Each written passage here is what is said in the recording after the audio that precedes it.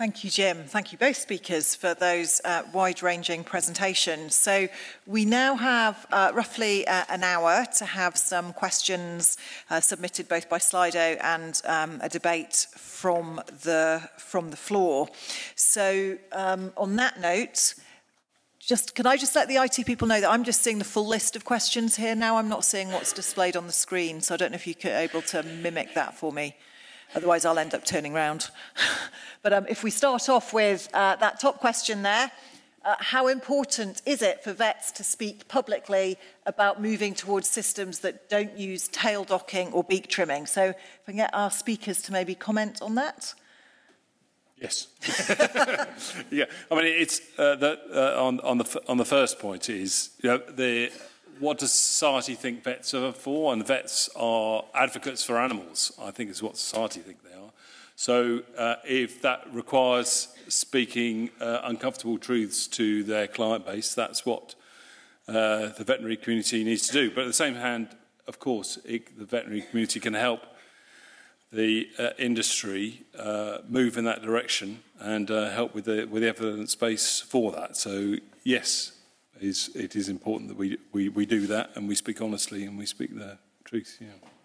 Jim, do you have? I, I, agree. It's massively important for veterinarians to speak out on these issues. Uh, that's what we are supposed to do. Society looks to licensed people to, to uh, take care of that part of society for, for them or for us. And when we don't speak out for the animals in these cases, then it's a problem. And it's particularly a problem in, in North America.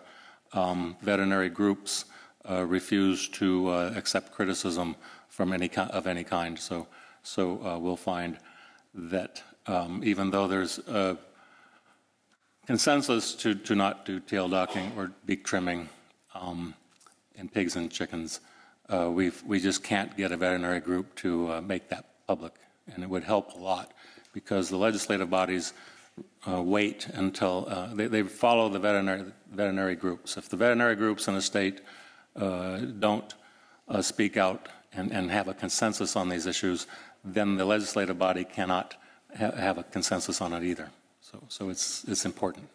So I get the sense you both think we should, but maybe we don't speak out. We should, but we don't. At least, at least most most veterinarians around the world, I think that happens more here, from what I can, what I follow and read in the welfare world.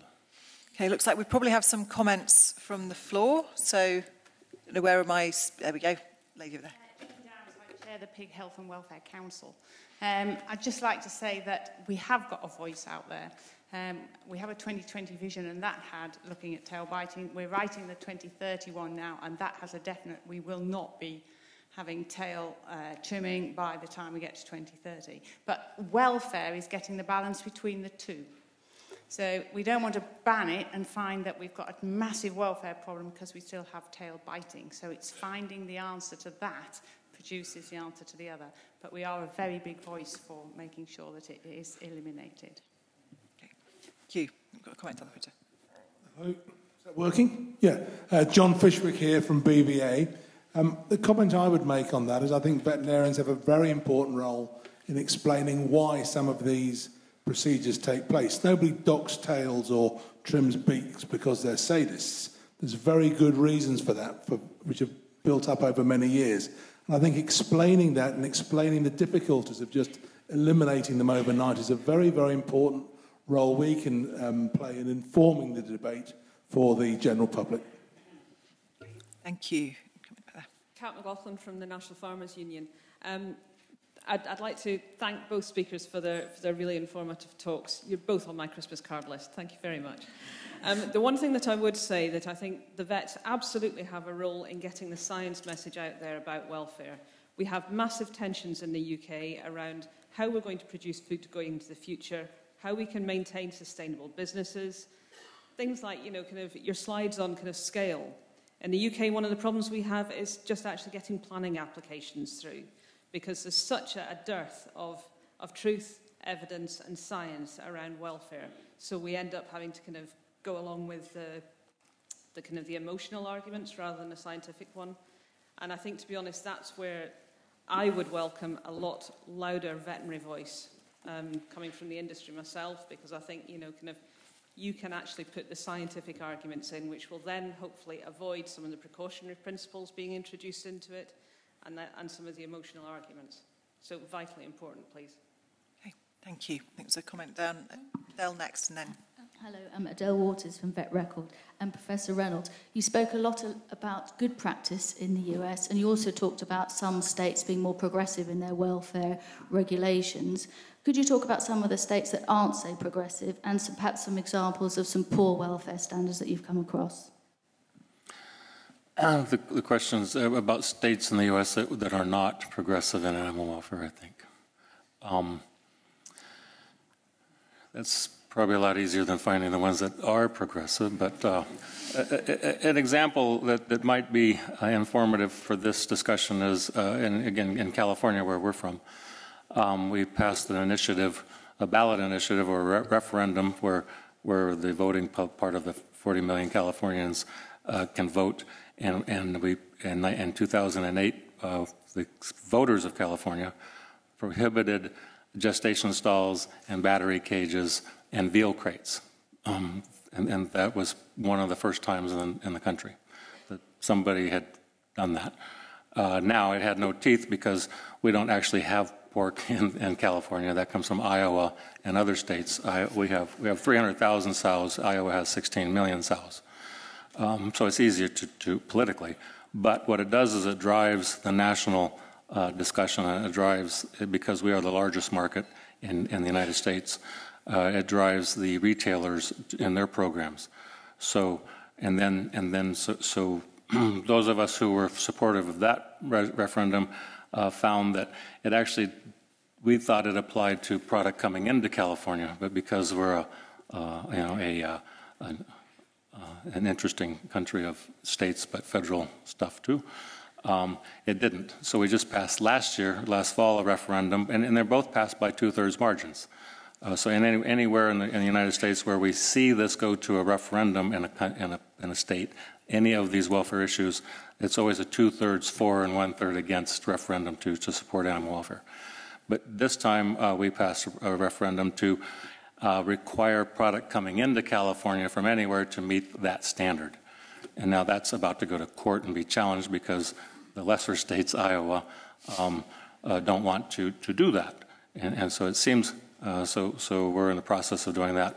another one, just quickly, is, is um, what are called ag gag laws or um, most of our uh, push for farm animal welfare improvements come from uh, undercover videos from animal advocates.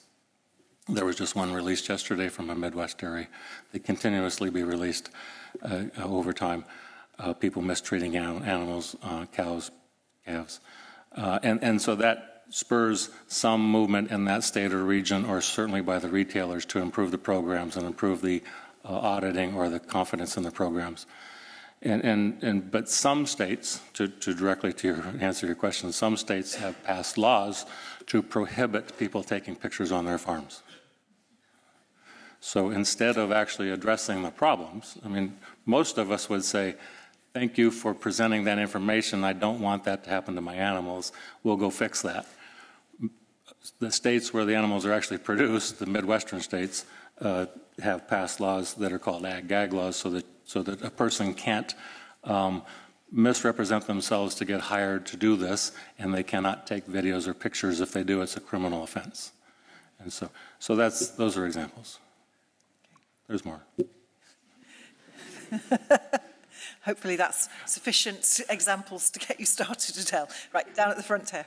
Um, hello, thank you very much for your speeches. Um, I just want to comment or just want to ask because we talked about how the veterinary community and veterinary voice is necessary for this movement for like better welfare. I was wondering what you think about incorporating this movement and like this, these considerations into veterinary education for like vet students from like when they're like learning about the animals and like the conditions and everything, the diseases. How can it be like incorporated to like make these students think about these questions before they even enter the veterinary field. But yeah, thank you. Thank you. Do you have any comments on that? I mean, so I, I have been involved in that when I was at the Bristol Vet School. You know, we, we, we, we did bring about a change in what uh, was taught to the vet students, and that has happened in, in the other vet schools too. But I, I, I want to go back to more recent graduates and think, so do you think there's a problem? Do you think it's not, not enough cover? And, what, and in what areas? What do you think should be more? Sorry, that was a bit unfair. But... You've lost your microphone there at the front, so maybe that's a conversation for over lunch. Well, uh, yes. Well, if any, anybody else, Does anyone have else have any opinion has, on that? Has any thoughts? Because I think it, uh, I would just want to put it on the table as yeah, the, the Animal Welfare uh, Foundation has done great stuff on that and has funded it, uh, and uh, it's important to hear whether that has had the right effect. Is my question. A comment there. Um, hi, Hannah Fitzsimmons from the Association of Veterinary Students. Um, just a second that students are actually quite proactive in sort of welfare discussions anyway at university, so it is being integrated into our teaching more, um, especially at University of Bristol. Um, but there are societies at our universities that will hold lectures outside, so like get external speakers in and have debates as well. So we are sort of progressing in the right direction in our teaching for welfare as well. Okay, thank you. Do you have any comments from the US perspective there, Jim, on how integrated it is in the curriculum? Um, it's not integrated in the curriculum in the U.S. at all. Um, we have rare animal welfare courses. They tend to be a, lecture or two here and there. We don't have, uh, very few schools have actual courses. Uh, where I work, we, we uh, at Western University, we have problem-based learning, and, and we do have a vet issues course students take for the first two years. So they, they're exposed to advocacy and things like that. Um, the problem for, for, for us in the U.S. is our veterinary students tend to have very high loans. When they come out of veterinary school, they're between 150 and 300,000 dollars in debt, and that's pretty serious. And so they tend to go straight into practice and make money, put their heads down and make money. Um, I think they'll come out later uh, and, and a bit more advocates than, than my generation was. They're more in, in, interested in it. Okay, thank you. Um, comments at the back there. Uh, Gudrun Ravetz, Sim Health Professionals and past president of BVA. Um, thank you very much and very interesting.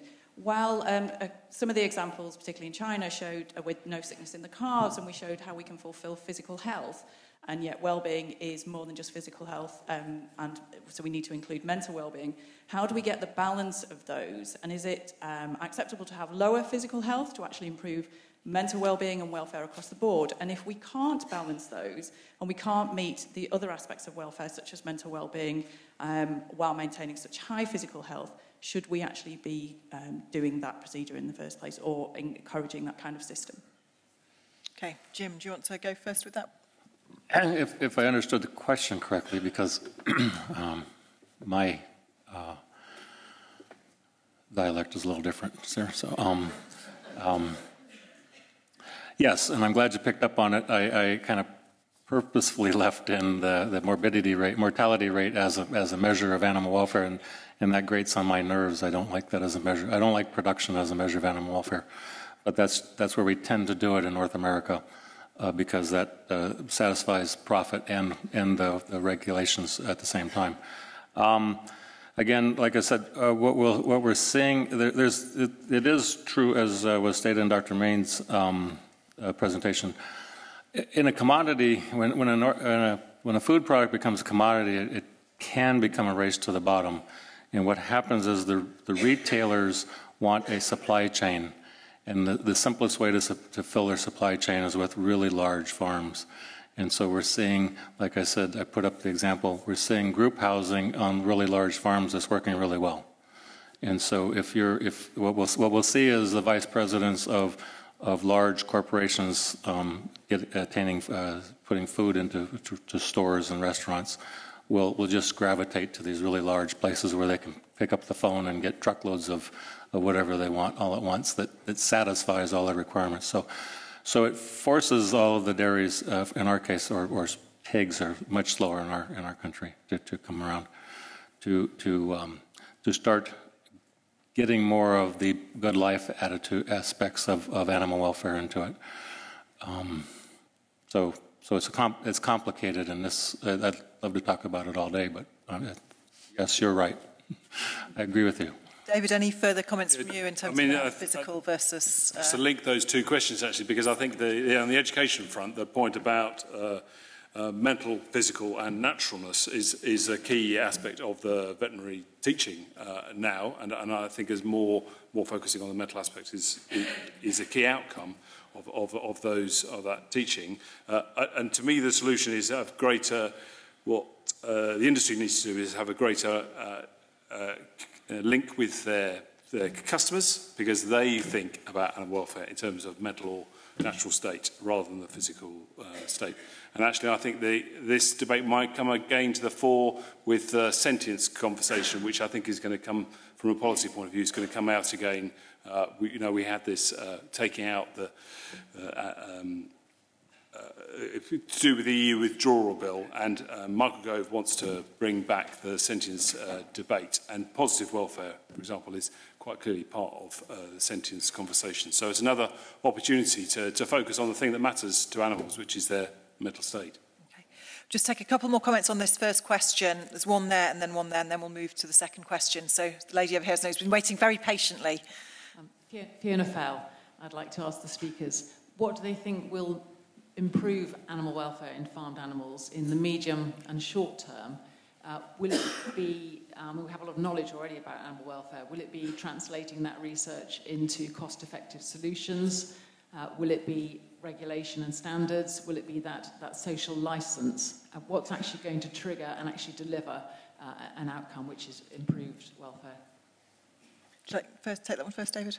Uh, I, I think the industry is trying as hard as it can on the, shall we say, the soft levers of power of trying to get knowledge changing, all those sorts of things. And I think it should, and, and the strategies that uh, we talked about are, are good to a point. Uh, but the, the, the big changes, uh, are, I think, are there's a big change there. That first question there, we have 25% of, of laying cows. You know, what, what is going to make those big sort of, big sort of changes? Uh, and uh, I think there is an opportunity in the UK agricultural policy to, to, to focus on the, on the good stuff and to try to encourage system level change. And the other big, big change, let's just be honest about it, is eating uh, less meat is part of the discussion. Uh, and we do need to eat less but better. Uh, uh, so that's a big change. Thank you. Jim, any further comments on that? I agree with Dr. Main. Um, interestingly, and I won't be able to go home for this. But we need to eat less. We just need to do better with the animals we have and, and, and not consume as much. Um, I, I, take and just, just just to throw this out as, as a as a thought. Uh, I spent the, recently spent two years in a startup company. Uh, we travel across the United States providing welfare services, training, and things and programs to dairies across the United States. And at the end, I had uh, given up talking about animal welfare, and I simply talked about animal emotions. I was training people to understand when animals had emotions, when their emotions were good, when their animal, animal emotions were negative or in, in, trouble, including the workers, and then and then and then realizing that they would solve those problems on their own. Um, the, we can make all the rules and regulations. Coming from academia, I'm, I'm, a, I'm, a, I'm a clinician in academia and had been in private practice for a long time. Um, more research is rarely the answer. Uh, uh, we just need to execute what we already know. We know what the animals want. We know what they need. We know why they get lame. We just can't make people change their behavior. So, so again, some of us uh, working in the U.S., when we do our meetings, we're not talking about welfare. We're talking about uh, this, the social aspects of how do we change people's behaviors, Be because we need to motivate people to change things. So, so I agree. Thank you. A question here, and then we'll move on to the next. Thank you. Um, Emily Coughlin from the RSPCA Farm Animals Department. Um, I just wanted to second a point that was actually made um, earlier about, you know, should vets be speaking up about these things? Um, yes, and but also, you know, the ne- necessity of these procedures. You know, we can't just stop them. But why have we got to a point where we can't just stop tail docking in pigs and the risks associated with that? Why do we have systems where these, where these procedures are necessary. And I think just from what Dr. Reynolds said about some of the states um, shutting down people videoing on farms and, and the rise in, in veganism and, and activism that we're seeing from these farm exposes, um, educating the public about these systems so they can make a more informed choice and the welfare outcomes assessment work that's happening on the UK farms and is increasing, I think is a really important way to show people what the different systems are and what their actual outcome effects are, and then follow that through with production labelling so that consumers can make an informed choice. Um, and yes, they can eat less, they can choose a product that they know is better because it is followed up by a clear and transparent system, uh, not just a set of standards, but the actual welfare outcomes on farm that we are seeing from this system compared to this one. Okay, thank you. I see nods from the panel. Uh, so if we go to another question from Slido, uh, which I think is very pertinent to the original um, poll that we had. So if we remember the poll related to whether the UK has the highest welfare standards in livestock agriculture, and the room was split pretty much down the middle. Um, we've got a question from James Russell um, saying that if 25% of the national dairy herd is lame at any time, up to 50% in some herds, and, and sources referenced there, can we claim that animal welfare is good enough. So be interested to hear from um, the panel and then maybe members of the audience who voted uh, in favour of the, the poll, maybe as to, in, in that situation, why we feel it's good enough. So maybe David first. I'm glad somebody's called that one out because, as I said at the start, I was expecting challenges and that's a, a really important challenge. Uh, and so, no, it's not good enough, but other countries have the issue. So if you're comparing countries, you know, I, I think the industry action is, is to be applauded. But what I would, I just want to flag of them and us. Uh, we don't want to say, oh, farmers are at fault, they're not doing it, they've got lots of lame cows, it's all their fault. Uh, no, we're a stakeholder here. The veterinary profession is part of this, uh, part of this, this issue. And so are we as a veterinary profession doing as much as we can and should be about, say, the veterinary advice dealing with this complicated issue? Are we really sure that farmers are getting the best veterinary advice? Lameness in dairy cattle is a complex issue that, uh, that, that you can give the wrong advice for, but blatantly. So are we doing our bit? Is, rather than just saying, oh yeah, farmers aren't doing enough. Come on, what are we doing? Are we doing enough? Okay. Chris Reynolds? Well, that, that was a good challenge, Dave. Um, the, um, uh, I think clearly it, it, veterinarians on farms tend to acquiesce and, and not, uh, not lead to the future uh, enough with management practices and, and how to make change over time. Uh, I always tried to get my clients to, under, to understand we would have uh, immediate and, and medium two to three year goals and, and long range five to 10 year goals and try to attain those. And, and we don't really push hard enough. Um, lameness is a very interesting issue because it hasn't really changed over time. Uh, mastitis might be another one uh, things can get better, but they tend to get better because animals are culled and not because we've improved. And so we simply get rid of the broken animals. And, and so we have to be careful. Again, the basic issues why dairy cows get lame, for instance, is, is, is, pretty well understood. They're on concrete too long, they're wet too long. We're, we're feeding them the wrong ways so that we, we have the, the acidosis model. Uh, we make them thin, so we're losing on the, on the fat pad model. We, we do different things Getting change in, in that system is hard because of all the economic factors and the peer pressure factors from other people. I, I do want to point out uh, something that, that's uh, struck on, in this because it comes up with lameness and other things. I think overall for uh, countries in Europe and, and, the UK and, and uh, North America, um, for cows on a dairy, for instance, if nothing goes wrong with you, you're probably living a pretty good life. I mean, it's probably not the greatest, but it's, it's a good, it's okay. But if something goes wrong, it, it's pretty bad. our, our tr- veterinary treatments need to be improved, how we interact. We, we tend, at least in most places, not to, to use nursing care. So, so the first thing that happens with a lame animal of any other species is they get rest. But if you're a dairy cow, you've got to walk in and out of the parlor twice a day. And then you're limited in your pain management. So, so the rest of us would be laid up on the sofa watching television until we felt better or, or the dog or, or the horse or anything, but, but we have to have better ways of integrating a holistic approach. I think I heard that earlier. Uh, to treating um, broken animals on farms. We, we tend to, to just view it as pharmaceuticals at, at this point, and that's not uh, correct. Okay, thank you. Got a comment at the back there? Hi, uh, Dan Leonard. Um, just on this, this idea of applying more standards to UK farmers, I think it's really critical that we don't then export our problems and just import the produce from somewhere else. that's, that's not observing our standards.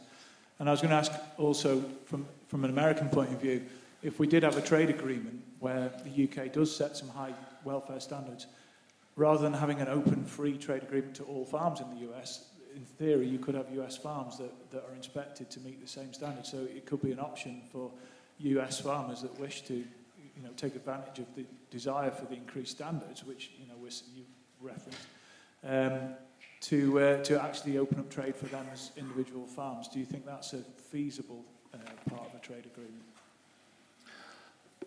I, I, well, yes. Uh, um, um, I, I, think if, if, you're asking advice from an American on economics, uh, on farm economics, is don't give up what you have.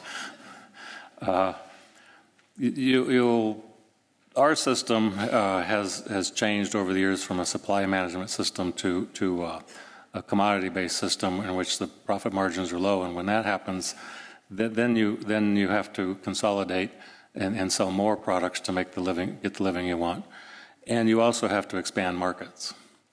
So what you have here, uh, from a welfare standpoint, is a high-quality market with a high value to to your products. Um, I would not, uh, I hope you don't let that slip. And um, America is looking desperately to, to export low value products. that's, that's how we make money.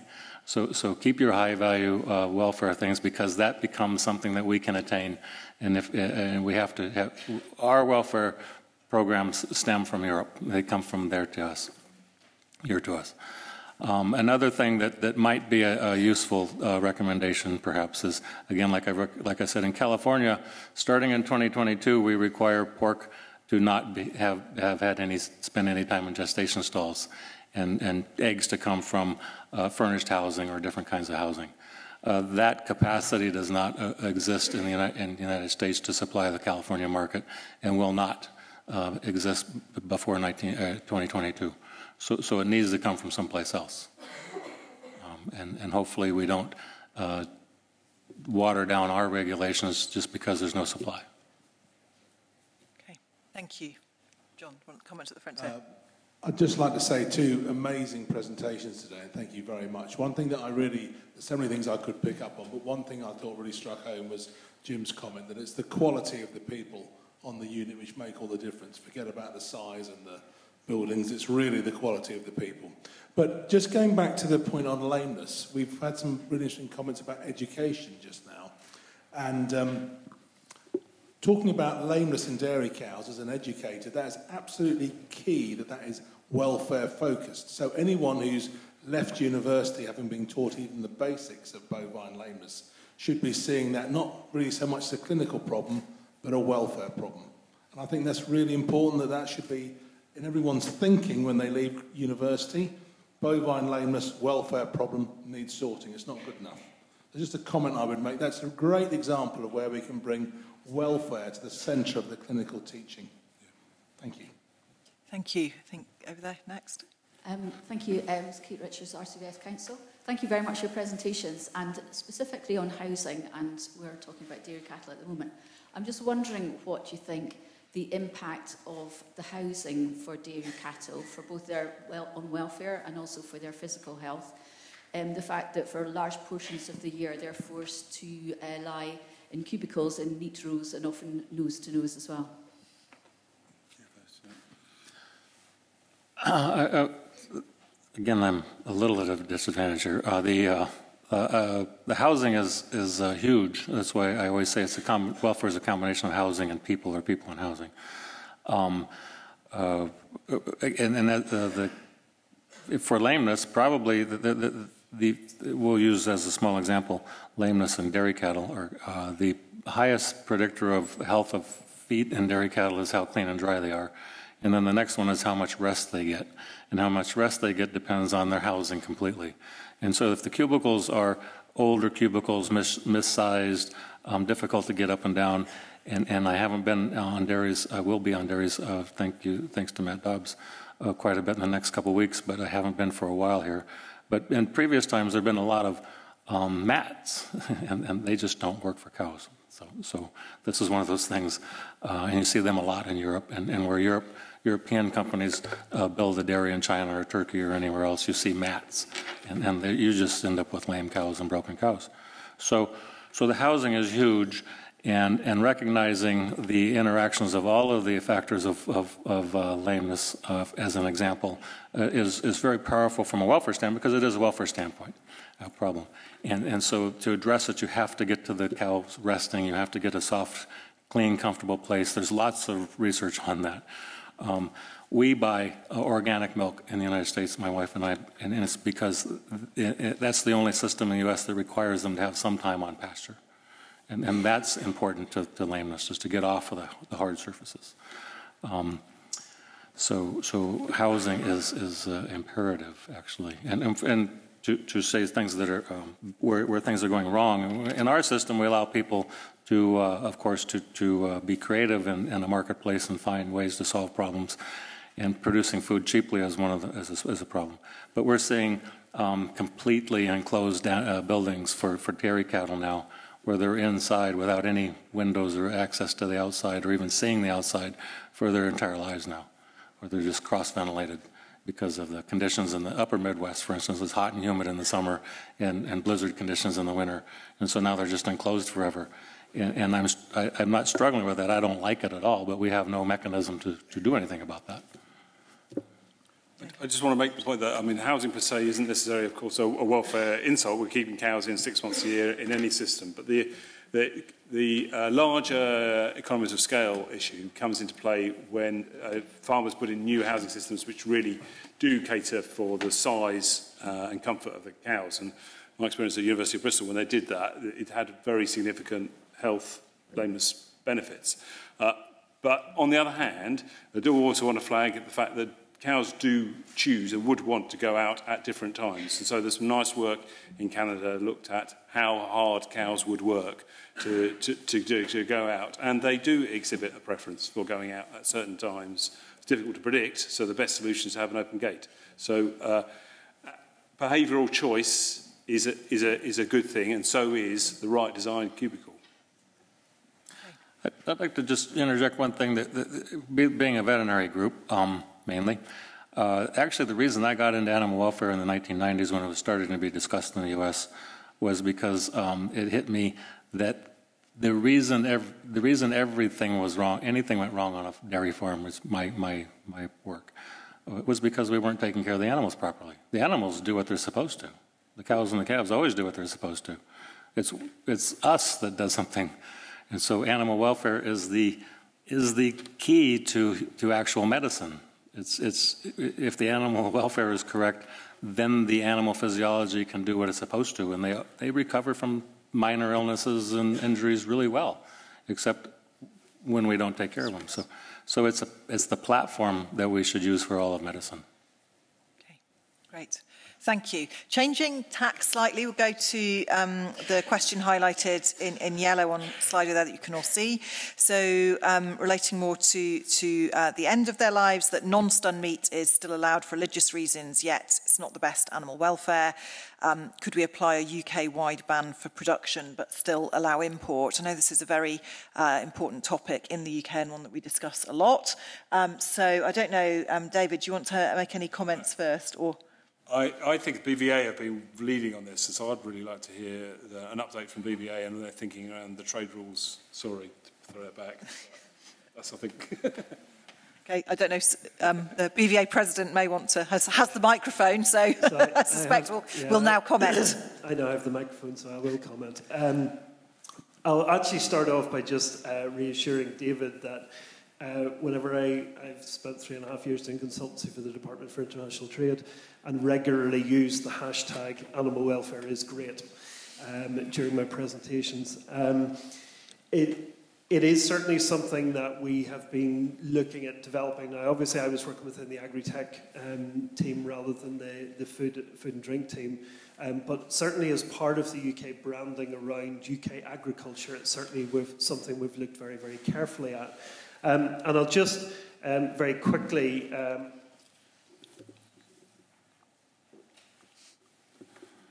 try and read you a tweet which the Department for International Trade made the day before yesterday in response to NFU, in fact, um, which said, We will not compromise on our high food and animal welfare standards as, as part of any trade deals. Any future deal with the US must work uh, for UK consumers, farmers, and companies. So um, that sort of piece across Whitehall. Um, between DEFRA, um, APHA, and the Department for International Trade um, around animal health and welfare is actually um, a really important one, and I think relationships which are developing. Um, specifically around non-stun. Um, so, I mean, this, is, this has been an, an ongoing campaign for BVA um, over the last number of years, and our top line hasn't changed. Our top line is that we would like to see a complete ban on non-stun slaughter in the UK. However, um, on the basis that there is a derogation in place and um, you know, to allow uh, limited quantities of uh, non-stun slaughter for specific religious communities, and the spirit of the derogation is uh, would suggest that that uh, should be for domestic purposes. Uh, we have then made a couple of sort of additional pragmatic calls in, in, in, in the current um, state of play. So one of the things we've been working uh, with Michael Gove and David Rutley on um, is looking towards a call for a ban on export of non-stun slaughter from the UK. Um, so we know that at the minute, the, the, figures that came out from the Food Standards Agency recently suggested that there were um, parts of the um, slaughter process in the UK where there were being, you know, significant proportions of, of um, non-stun was being exported, and we would like to see a ban um, on that. Um, and one of the things, uh, the themes that's come up on a number of occasions today has been um, around clearer labelling. Um, and um, certainly we would like to see, you know, clearer labelling around non-stun slaughter. Now, at the minute, part of what has driven our uh, Choose Assured campaign has been a proxy because all of the farm quality assurance schemes require animals to be pre-stunned before slaughter. Um, and on that basis, we've been using Choose Assured as a, as a proxy um, for that. We continue to work with the farm quality assurance schemes to look um, towards um, outcome-based well, um, welfare measurements on farm, um, and also then looking at um, pieces around lifetime assurance. so increasing the scope um, of animal welfare within um, those schemes. Um, but certainly around um, non-stun, um, that's where we are at the minute. I recently took part in a round table, which was a very complete round table with all the stakeholders at the table. Uh, which was hosted by Michael Gove and David Rutley. Um, there was nothing probably new in the discussions, but actually having the people all round the table at the same time um, gave an opportunity for a respectful um, conversation um, to be had around, um, around the key issues of non-stun. Thank you for that uh, comprehensive update, Simon. Is there any anyone got any other comments or questions specifically on that issue? I think we've got one here, Catherine. Um, Catherine NFU again. I just basically wanted to back up some of what Simon has said. Um, it is really important, certainly amongst this audience, that we recognise and we say as often as we can, Red Tractor, all of the farm assurance schemes in the UK, it has to be stunned, and that's really important. One of the other things that certainly I think just be aware as well, it's a really important market for our sheep industry. So we need to be careful that we, you know, that we get the balance right here as well. Because ultimately as well, if you suddenly stop it, we'll damage the sheep industry, we'll put it underground and we'll just import the welfare issues elsewhere. And that's, that's not going to help anybody. One of the things that the NFU is, is calling for is a little bit more flexibility from our government that we actually start and we recognise and we look more at the um, recoverable stun science and we look at some of those kind of scientific parameters. So again, this would be something that I'm sure that came up in the round table that you talked about. I mean, we need to start and again bring a bit of science into this debate. Okay, thank you. Any further comments on this topic? Okay, well, I think mo moving on nicely, actually, the two, the two questions that are at the top now in terms of do our citizens say one thing when asked but do something different when they go to the shop? And the fact that we've touched on the assurance schemes for meat sold in the UK, but do the public know what these actually actually mean. Um, so I think that ties together very nicely with the fact that a number of times through the debate today we've heard about the consumer driving behaviour. I guess maybe a question for the panel as to what do they think we can be doing to, um, to help improve that and help support a consumer who say they want high welfare to actually um, deliver that. I think that first question is a really good essay question for students because it's, of course, it's got a concept of citizens and consumers all sort of yeah. mixed and muddled in, in there. And I think it's quite useful to, to think of them separately because the, let's be clear about this. Citizens may, may not be eating meat products, and there are quite a few of them, uh, quite rightly have a view on how animals should be kept and sold in the UK. So uh, there's a set of policies around citizens, which I think that social license aspect is really important. And consumers quite clearly have a role, and consumers can help drive innovation and higher welfare products, and via retailers making brand editing decisions that they are only going to sell certain things is the other route of, or influence. But consumer behaviour is not going to sort animal welfare. Let's be clear about that. That's, that's not the solution to animal, animal welfare. Jim, do you have any comments on that? Is it a tool that we should use more or something that's... Um, I, I, agree that uh, consumer attitudes will not solve animal welfare issues. At least where we are, uh, the consumer response to animal advocate um, videos and pictures uh, drives retailers, and, and, that, and that gets us to a better place with welfare on farms but to actually get to where the welfare needs needs to be for the animals, that that's um, I don't think consumers need to know that much about the topic. They just need to know that animals are taken care of well, and, and they expect that. So, consumer surveys are always problematic, actually. Okay, thank you. For a comment down here at the front.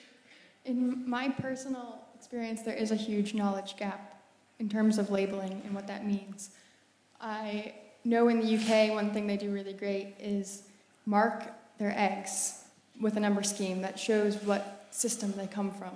However, the information about what system that number corresponds to is not provided. I recently read an article in Belgium where they have applied barcodes to packaging for meats so that you can scan it with an app on your phone that actually gives you information for the system. And I think if something like that can be introduced, it can really help provide more knowledge. Okay, thank you. Any further comments from the panel on that? Well, I th the, the comment about labelling, I, I, uh, I, I think having different types of labelling information is, is useful. Some people say, oh, it's too confusing. I think we shouldn't treat our consumers like idiots. You know, they, they can work out what a red tractor is and they can, uh, they can find out that information about cage, non-cage, what it, what, what, it, what it means. So provide, provide the information, and, but there are some, some gaps quite clearly at, at the moment. So uh, yes, we've got a system for lay, laying hens, and that's a mandatory by, by, by, by European legislation. We've only got an industry code for pigs for part of it. We haven't really got, the first question is very relevant here, we haven't really got a system for dairy cattle that, that, that is clear and transparent across, uh, across the board.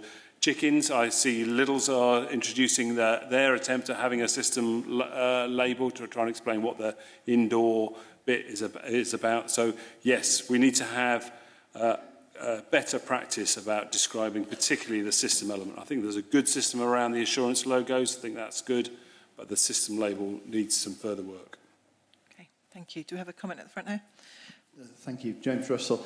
Um, I'm going to try and stick with the consumer bit here, but I apologise if this question rambles slightly, because um, I, I do have this concern that we have a role to fulfill in educating our consumers a little bit better. If I may give one very quick example, I remember being beaten to death at Toxteth Town Council one night when I suggested we change our um, food sourcing policy uh, to include stun slaughter only. And I was challenged by a fellow councillor who said I was an animal because not only did I want to kill these things, I also wanted to stun them.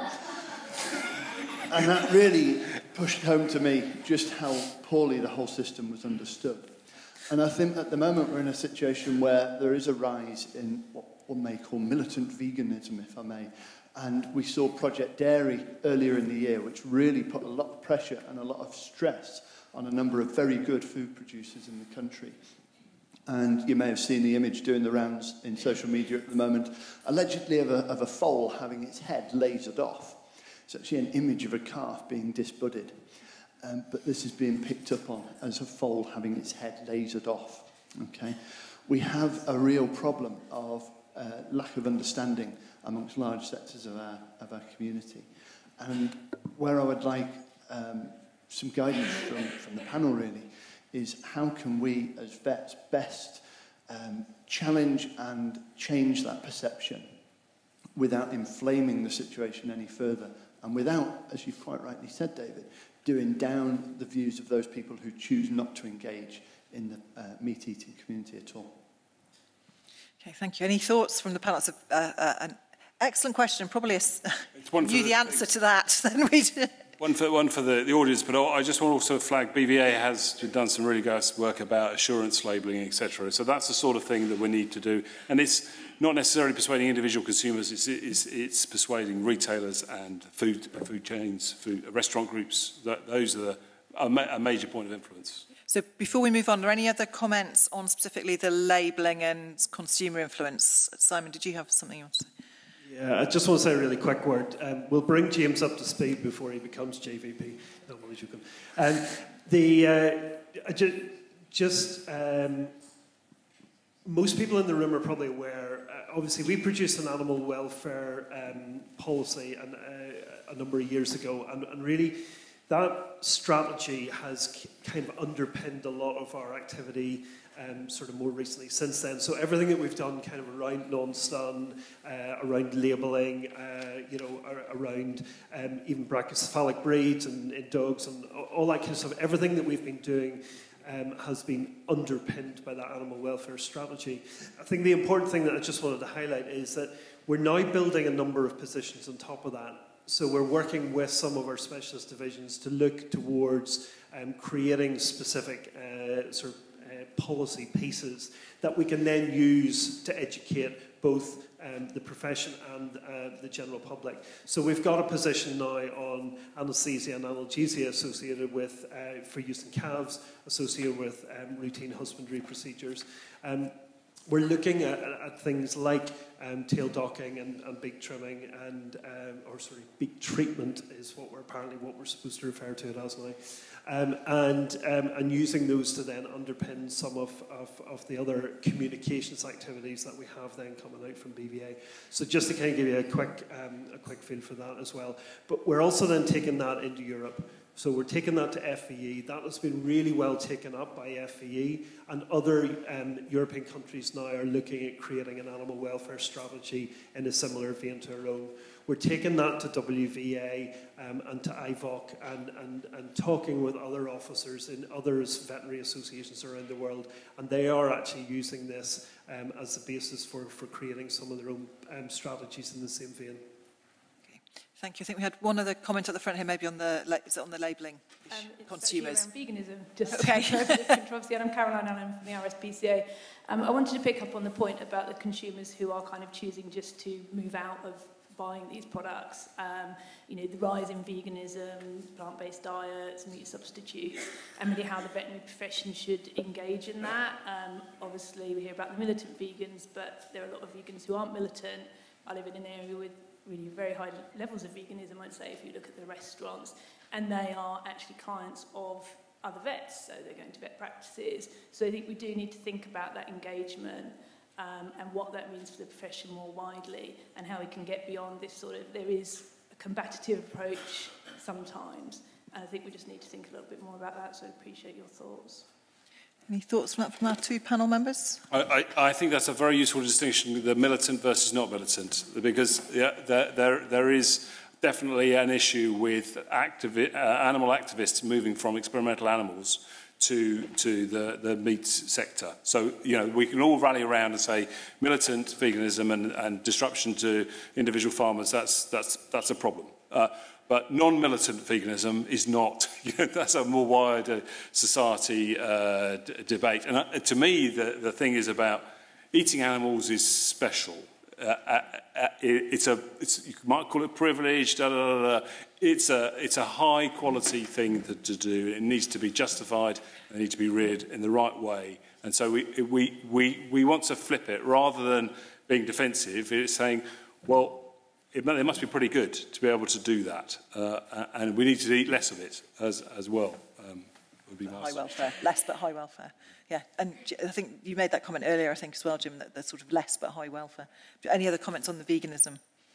um, uh, certainly people can choose whatever they want to eat, and in today's world, uh, there's no reason to eat meat and still be healthy.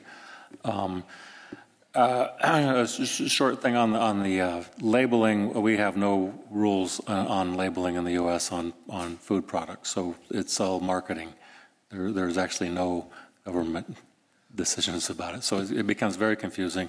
I'm aware of the studies, the research uh, in Europe on how confusing it is for people with, with actual uh, defined labels. Um, people, people should just choose what they want to eat and be comfortable with that. I don't think we're seeing militant veganism in the U.S. I think we saw uh, that we have uh, people for ethical treatment of animals, which we are our militant group at the moment for the past 20, 30 years they've kind of toned down and become a, a regular mainstream sort of a political force. Um, we don't, uh, we're not seeing the same problem. We, doesn't mean we won't, but people, I, I, enjoy people with passion for their topic. If they're passionate about being vegans and about making change in animal welfare, uh, then then I try to uh, uh, work with the parts that they that I can work with uh, because uh, in our system, that's how we motivate people to change, is people with passion. Thank you. As we move towards uh, sort of the end, towards the end of the debate and having the vote again, I think this is a really good question to think about. Uh, having the highest welfare standards and actually meeting them or exceeding them are two different things. Where does the panel sit with are we actually meeting them right now? So again, David, do you want to have a first shot at that? Well, I think on the standard, such a, uh, what does that word mean? In legislation, compliance all those terms, I think we, we are. I mean, I think we can be proud of, uh, uh, of what our industry is doing in terms of Red Tractor, etc., and uh, what our government is doing. Uh, but of course, that's not outcomes. We, uh, we, have, uh, we can have farms with lots of lame cows which are completely compliant with the law. So it's, to me, of course, it's, a, it's, a, it's, a, it's about the outcome stuff. Uh, and that's a work in progress. That's, we need to keep, keep hassling about that. The, are we delivering the, the good enough welfare outcomes? Okay, thank you. Professor Reynolds? Uh, certainly, I think the UK has excellent um, regulations and standards, that's for sure. Um, probably uh, there are some Scandinavian countries that, that probably exceed those. But if you're looking at it um, from a bit far away, you'll, you'll recognize that the more homogeneous uh, a region or, or a, a, system is, the more standardized things can be. And then you get to, uh, uh, see, even within the European Union, you have a range from, from um, as, as, everybody here knows, Spain to, to uh, Scandinavia. And in, in, the US or Canada, we just have lots of different geographies and environmental conditions and places that uh, require different uh, ways of approaching uh, welfare and, and housing and management. And so the systems will, so comparing the welfare standards from the UK, which are excellent, to other places is uh, difficult because we need flexibility in, in, larger regions. We have we go from deserts to, to blizzards and, and everything in between. So so it's hard to have standards uh, that will meet yours in the short term, but I think we'll all come together uh, like I think I said, 20, 10 to 20 years uh, as as meat becomes more of a valued commodity and there are, alternatives for people for, for protein sources. So, so you have the good you have good ones. I'm uh, after three weeks I'll come back and, and see how well they've been um, enforced. Any comments from the audience on that or questions to follow up on that at all? Yes, we've got one in the middle here. Uh, I'll come clean fairly early on. Uh, David Chennels, I'm a general practitioner all my life, um, and I've done a lot of pig work and dabbled a bit in poultry. um, maybe I'm going to take the opportunity to half summarise this, but I've been sitting here listening to the presentations, which were excellent and incredibly well balanced. and early on, it was asked, you know, what's the most important thing we can do, or what's the most important factor? And I whispered under my breath, profit. and that took me forward because you've now said something, David, which is eating meat or using animals is a privilege. And we should respect that. And the biggest problem we have, I think, is food is too cheap. Things that are cheap have no value. So we waste more. And it's utterly scandalous that maybe 30% of the animals that are killed for our benefit get chucked into a black plastic bag and go into landfill or digesters. So if we could make people value animal products more and pay more for them, because if they value them, they will pay more for them. And the human will pay more because you can get round England in a Ford Fiesta, but people buy BMWs and Jaguars. So they will spend money where they think they're getting something of value. And if we add value to farming, the one thing coming from my other admission, from a farming family and a part time fam- farmer, farmers don't like paying tax. So if they make profit, they will invest. And then the veterinary profession, rather than fighting this defensive, well, we have to tail dock because we have to produce pigs at this price. We have to keep cows on concrete because we've got to produce milk at this price. And Jim, you said that in the States, it's a commodity. And the only way you make profits is to make more. And the only way you make more is to make them work harder. So if we could change that attitude, then the farmers will deliver. Because once they're paid more, people can say, well, you're earning more, you're making more money, so you can spend more on your buildings, you can spend more on your welfare, and you can spend more on your staff and on your training. So I think the answer, right at the bottom, you asked the question, because all the questions have now linked together, yeah. about the consumer. If the consumer can value animal products more, the animals will benefit. So I don't know if that's a question or a comment or just a piece of arrogance on my part. maybe the panelists would like to comment. Right, and I think actually we're moving towards, I have my red light now, so um, on that very uh, eloquent note, um, if I could give both of our panelists just one minute to sum up their thoughts uh, following, following the debate we've heard before we uh, ask you all again to see, and we'll see if anybody's minds have been changed. So rem reminding ourselves that the, the original proposal was the UK has the highest welfare standards in livestock agriculture. Um, David, you were proposing that, so with a minute, do you want to summarise um, your thoughts, having listened to the debate? do have high standards. We could go further. I, David's point about it's going to cost more and it's, it's, it's a higher value, we absolutely do. I want to flag one other debate which we haven't talked about, and that's the issue of food poverty. Uh, because uh, a really interesting report, I think it's called Broken Plate, which looked at the, the lowest 10% of, of, of, of, of income households. They pay 74% of their income on food, whereas the overall average is less than 10 or something. So th that is a problem, and quite clearly a problem for, for, for this issue. But there are other solutions for that, and that's not solve the, deal with the 90% by one issue with the, with the 10%. So that is another important policy question we have to address. Thank you. And Professor Reynolds, do you want to summarise up the opposing the motion? Again, thank you for uh, inviting us here to do this. I'm, I'm impressed with the group and, and the debate. Um, there's no question that the UK, that you have all put together exceptionally good welfare standards and regulations.